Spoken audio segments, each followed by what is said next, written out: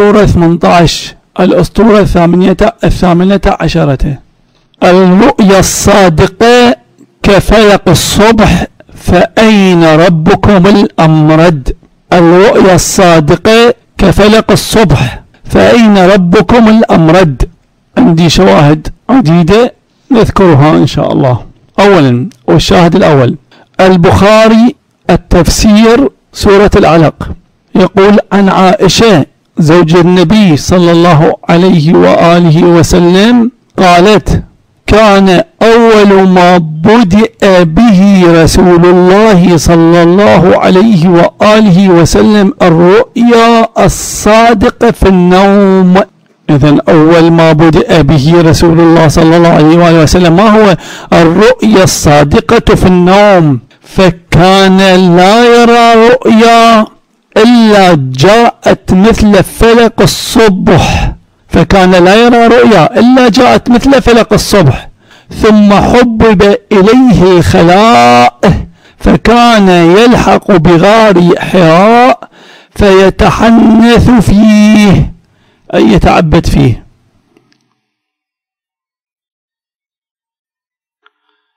الشاهد الثاني مسلم الإيمان. والبخاري بدء الوحي. عن عائشة زوج النبي صلى الله عليه وآله وسلم أخبرته أنها قالت كان أول ما بدأ به رسول الله صلى الله عليه وآله وسلم من الوحي الرؤيا الصادقة والرواية الأخرى الرؤيا الصالحة. إذا كان أول ما بدأ به رسول الله صلى الله عليه وآله وسلم من الوحي الرؤيا الصادقة الرؤيا الصالحة في النوم فكان لا يرى رؤيا إلا جاءت مثل فلق الصبح ثم حبب إليه الخلاء فكان يخلو بغار حراء يتحنث فيه. إذا التفت جيدا الرواية الأولى ماذا قالت؟ كان أول ما بدأ به رسول الله صلى الله عليه وآله وسلم الرؤيا الصادقة في النوم. الرواية الثانية ذكرت السيدة عائشة عنوان الوحي. قالت أو ماذا قالت في الرواية الثانية؟ كان أول ما بدأ به رسول الله صلى الله عليه وآله وسلم من الوحي من الوحي الرؤيا الصادقة. إذا رؤيا النبي الصادقة الصالحة من الوحي. هذا نص السيدة عائشة رضوان الله عليها. التفت جيدا. أنا أريد أيضا أن أؤسس هنا بأن خط الصحابة خط أم المؤمنين عائشة غير خط التوحيد التيمي الأسطوري الخرافي. وهم ليس عندهم المهم الخليفة الأول أو الثاني أو الثالث أو حتى معاوية وباقي الأمراء من بني أمية. وآل مروان لا ليس هذا هو الغرض. الغرض عندهم هذا التوحيد الأسطوري الجسمي الخرافي هذا هو المهم عندهم. هذا هو الذي يقتلون عليه. هذا هو الأصل والأساس وهذا هو منبع التغرير بالناس وبالآخرين. كلمة مزوقة عنوان مزوق عنوان براق عنوان خادع عنوان يغري المقابل ويغرر بالمقابل. فيغرر به فيقتل الآخرين تحت هذا العنوان. ما أحلى وما أروع وما أقدس عنوان التوحيد.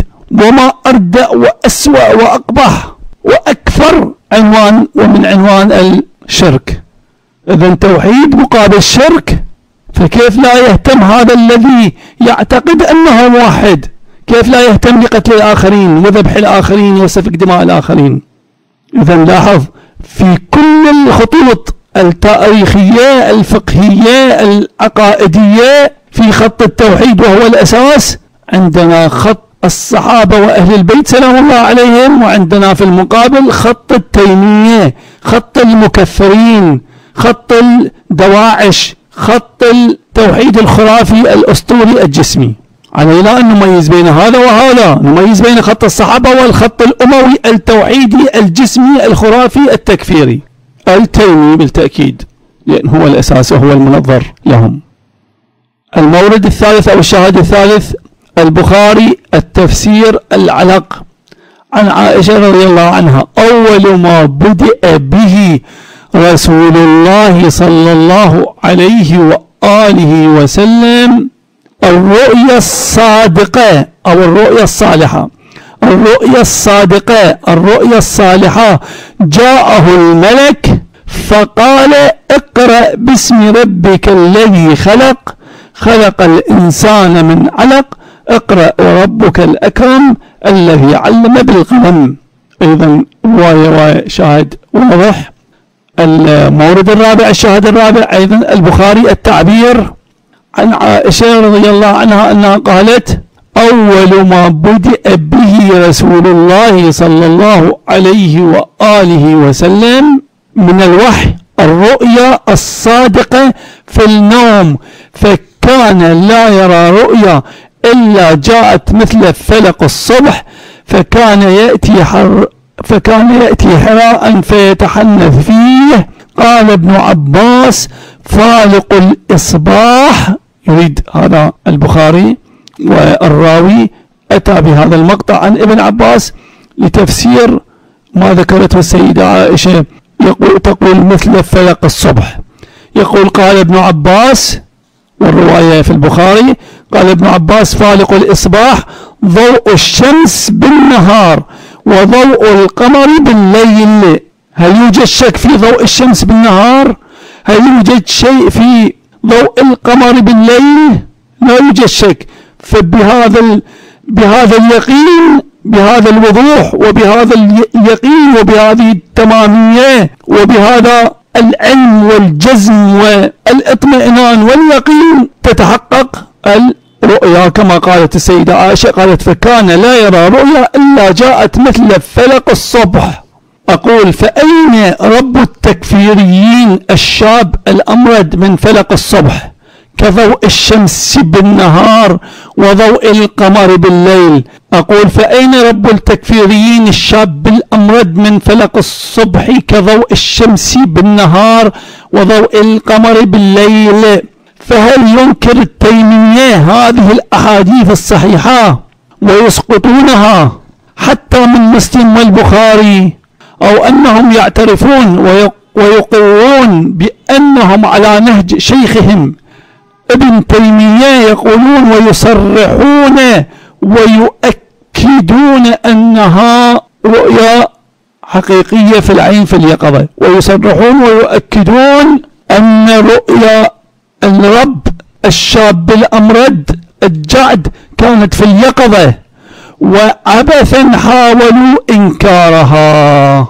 هل سيقولون بهذا؟ هل يسقطون الروايات حتى من مسلم والبخاري أم أنهم سيلتزمون بما التزم به شيخهم ابن تيمية وباقي أئمة التوحيد الجسمي الخرافي. ابن تيمية ومشايخ ابن تيمية وأئمة ابن تيمية. إذا محاولة القول بأنه في المنام في المنام في النوم لا ثمر فيها في التدليس والخداع وحرف الأنظار والأفكار عن الأصل عن الأساس عن الفساد في التوحيد الأسطوري. ونحن ذكرنا سابقا قلنا أي تمثيل أي تشبيه أي جسمية فهي غير مقبولة لا عقلا ولا شرعا سواء كانت في المنام في اليقظة في حالة المعراج أو في الآخرة أو في أي وقت من الأوقات. لا فائدة في هذا المكر والخداع في طرح الأمور. وسيأتي كلام إن شاء الله يتعلق به هذا الأمر.